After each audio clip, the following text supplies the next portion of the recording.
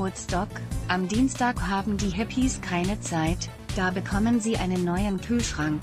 Donnerstag passt besser, sagt Bobby Ecoline, 68, am Telefon.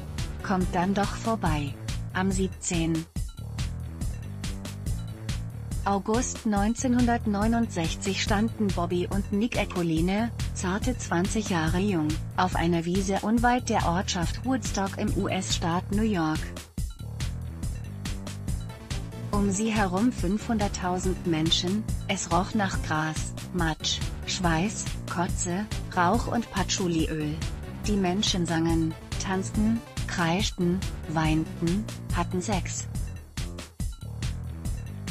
Geschätzte 500.000 Menschen kamen zum Woodstock Festival, zehnmal mehr als erwartet Foto, United Archives IFN Deutsche Presseagentur Picture Alliance United Archives IFN Es war Sonntag früh, es dämmerte, Wahoo spielte oder Jefferson Airplane, als Nick, den Kopf voll schwarzer Locken und eine Decke um die Schultern, seine Bobby in den Arm nahm.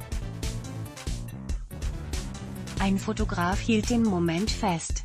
Das Foto wurde zur Ikone der Hippie-Bewegung, zum Cover des Woodstock-Albums, das bald darauf erschien. Hier das Video Fünf Jahrzehnte später trägt Nick Trekking-Sandalen und ein kariertes Freizeithemd, Bobby das weiße Haar kurz.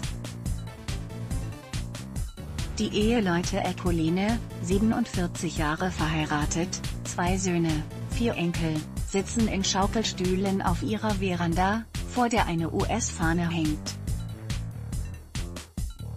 Eine Kuckucksuhr tickt, vor der Garage parkt eine schwarze Corvette. Nicht sehr hippie-mäßig, oder? Wir waren Kinder, sagt Nick. Heute sind wir viel konservativer. Dafür wissen sie viel über die Liebe, und darum ging es schließlich in Woodstock. Den Bildreportern gaben sie fünf Tipps für eine glückliche Beziehung, erzählt mit Textzeilen aus legendären Woodstock-Songs. Die Ecoline auf der Veranda ihres Hauses im US-Staat New York Foto. Tobias erwocke die erste Zeile des Songs With a Little Help from My Friends des damals noch völlig unbekannten Joe Cocker und die große Frage, wie hält man es 50 Jahre miteinander aus? Muss man, frei nach Cocker, seinem Partner sagen, wenn er schief singt? Wenn er schnarcht oder ständig die Zahnpastatube offen lässt? Man muss die Streitereien gut auswählen, rät Bobby Ecoline. Man sollte sich immer fragen, ist es das jetzt wert? Ist es morgen noch wichtig? Joe Cocker, damals 25, war bis Woodstock nur Insidern bekannt Foto, Apis Anonymous in Woodstock verpassten Bobby und Nick den Auftritt des legendären Jimi Hendrix. Das Konzert verzögerte sich so lange, dass Hendrix erst Montagmorgen spielte, so Bobby, die damals eine Lehre in einer Bank machte. Muss Liebe manchmal schmerzen, wie sich Hendrix in Purple Haze fragt? In einer Ehe ist nicht immer alles 50-50, sagt Bobby. Mal gibt man mehr, mal braucht man mehr. Ihre wichtigste Faustregel lautet, wir haben uns nicht immer gemocht. Aber wir haben uns immer geliebt. Jimi Hendrix, damals 26, starb ein Jahr nach dem Festival an einem Mix aus Alkohol und Schlaftabletten nur wer nichts habe, sei wirklich frei, das singt Janis Joplin in Me and Bobby McGee.